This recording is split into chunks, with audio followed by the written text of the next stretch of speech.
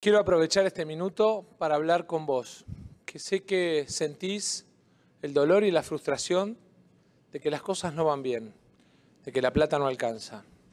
Quiero decirte que la Argentina tiene tres caminos.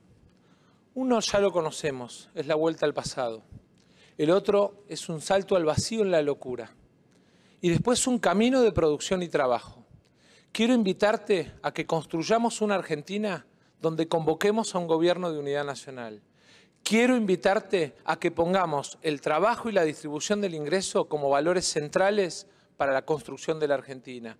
Quiero que construyamos de nuestras exportaciones la potencia en nuestras reservas, pero sobre todas las cosas el valor de nuestro trabajo.